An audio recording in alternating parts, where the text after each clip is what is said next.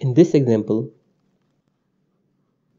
we are going to look into sampling and quantization. And for the later, we would also look into the signal to quantization noise ratio. So let us first start with a signal. Say we have a signal which is m of t and this signal is band limited to 1 megahertz that is we have a baseband signal we can call as FB and its bandwidth is 1 megahertz. Now as per the Nyquist criteria the sampling frequency which we can term as fs that must be greater than or equal to 2 times uh, fb which indicates that the sampling frequency based on the Nyquist criteria this has to be greater than or equal to 2 megahertz.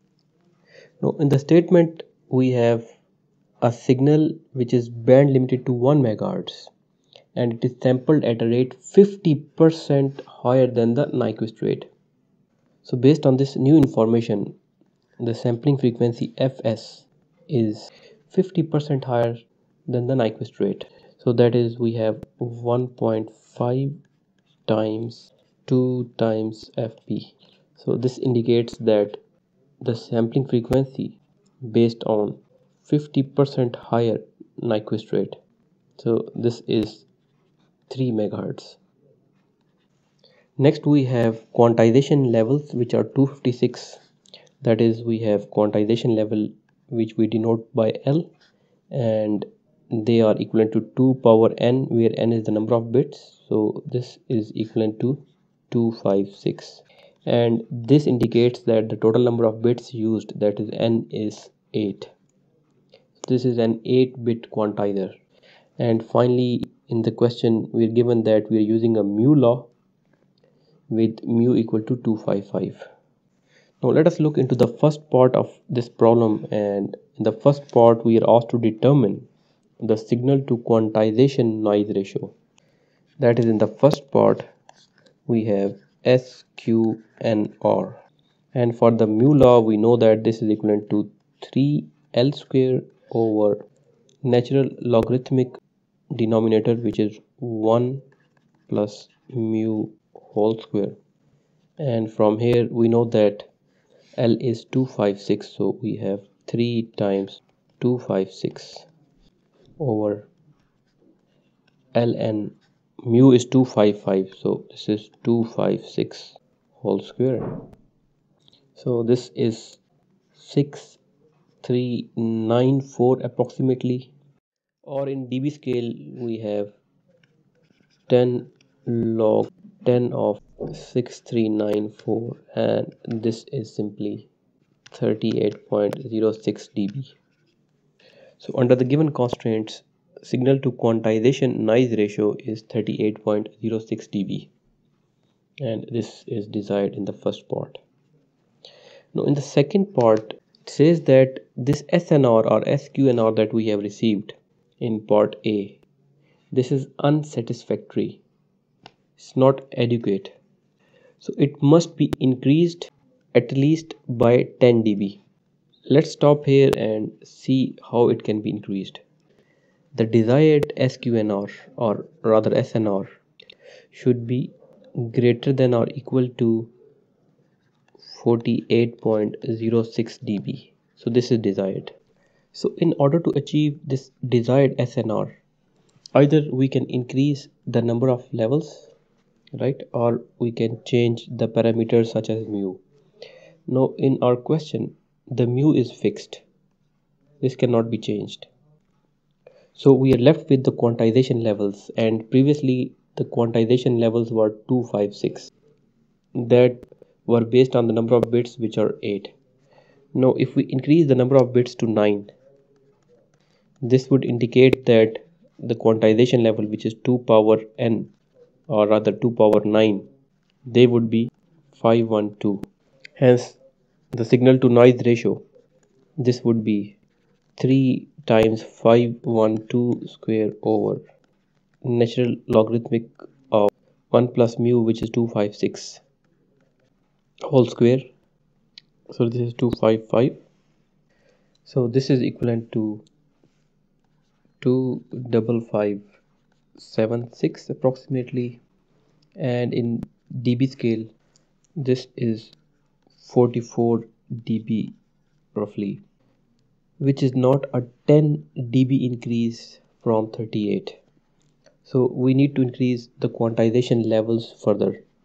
And for that if we set n is equal to 10 and for that we would have L equal to 1024 and SNR for that this is equivalent to 10 log of 3 into 1024 square divided by natural logarithmic of 1 plus 255 that is 256 whole square now this is going to yield 51 dB approximately which is more than 10 dB increase from the SNR achieved in part A. So hence we have n equal to 10 which suffices the need of 10 dB increase in SNR. Now coming back to the question again, it says that the SNR, the received signal quality found in part A which was 38.06 dB this was unsatisfactory and it must be increased by at least 10 dB. And we have found that such increase would desire a quantizer which is basically a 10 bit quantizer.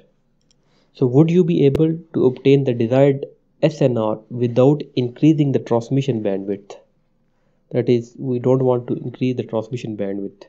And the transmission bandwidth which is linked with the transmission rate which we can refer to as C this is equivalent to number of bits times the rate times the bandwidth of message signal and in part A we said that we are having 50% higher than the Nyquist rate.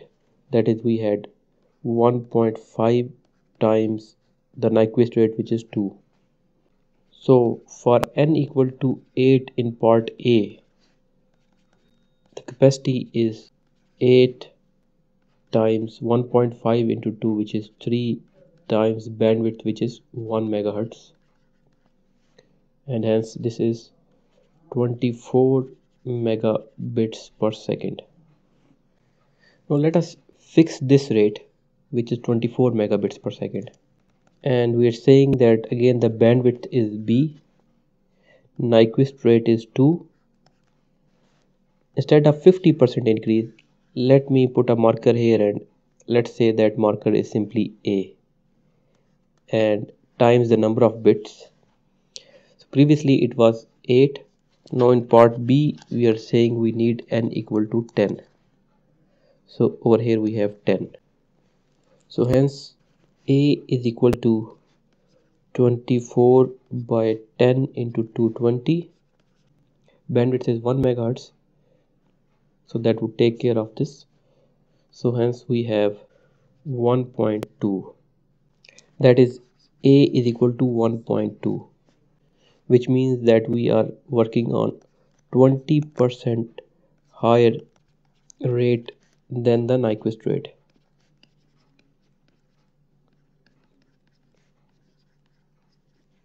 So in short we have increased the number of quantization levels and the number of bits by 2 while we have decreased the Nyquist rate or sampling rate from 50% to 20% and under such condition we can achieve an SNR which is 51 dB and that is more than the 38 dB inadequate SNR found in part A. So it says that if it was found that a sampling rate of 20% above the Nyquist rate is adequate. So the question itself is saying that 20% is enough. What is the maximum SNR that can be realized in this way? So basically we have worked that out over here 51 dB is achieved by considering 20% higher Nyquist rate at n equal to 10